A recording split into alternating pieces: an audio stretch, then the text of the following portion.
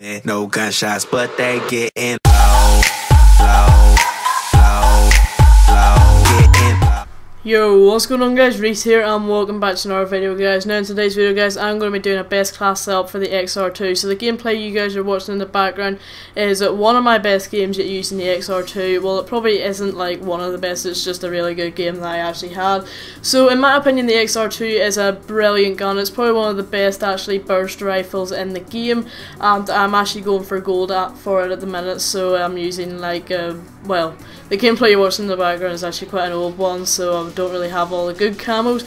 But yeah, so the first attachment we're going to put on is the ELO sight. Now probably you will have already noticed in most of my best class setups that I have this attachment on, but basically I put this here attachment on only if the gun has terrible iron sights, and the XR2, well they aren't actually necessarily terrible, but they aren't the best. So I decided after I fully maxed out this here gun, I would flip on the ELO sight.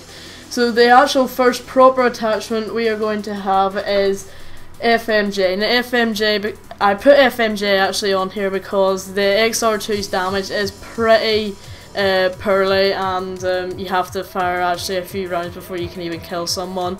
So uh, that's why I have FMJ on here. Also, if you're going to go for gold for this here gun, I would recommend putting on high caliber, um, like before you get FMJ, but keep high caliber on when you're going for gold for this here gun because it's good for headshots and stuff. So yeah. Uh, the next attachment we've got is rapid fire and that there's just to speed up the amount of rounds that I can burst out each time since this is the burst rifle and also it's really good for headshots. I'm just going for gold for this here gun. And the last attachment we have is extended mags. Now if you are going for gold for this here gun I would recommend replacing extended mags with high caliber but since I've already passed all the headshots I replaced it with extended mags. So extended mags is good there, so like you can basically, if there's this guy that's being really awkward from long range, that like you can have more time to shoot him before you have to reload. So we do not have a secondary, uh, we do not have a lethal, but our tactical is going to be a concussion, and that there is basically just for close quarters so you can concuss the person since this is a burst rifle and it'll be much easier just to concuss them. Anyway, perk 1, which I have practically on every best class setup, is Sixth Sense and probably everybody who plays this game probably has this as a perk and it's really useful. Uh, there's probably really no point in explaining it but it's useful just because it tells you where the enemies are when they're in close proximity of you.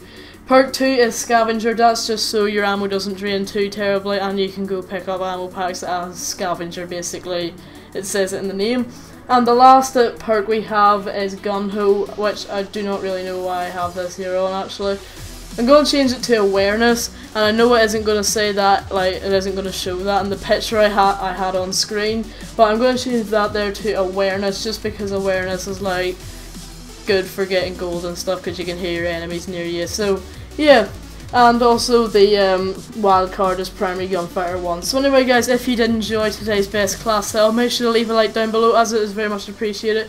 Comment your thoughts in the comment section guys and I will see you in the next video. God, oh my God, if I die, I'm a legend. When they lay me down to rest, I know I was always repping. Oh my God, my whole life, my words been my greatest weapon. I know I, I know I, been the coast's greatest blessing.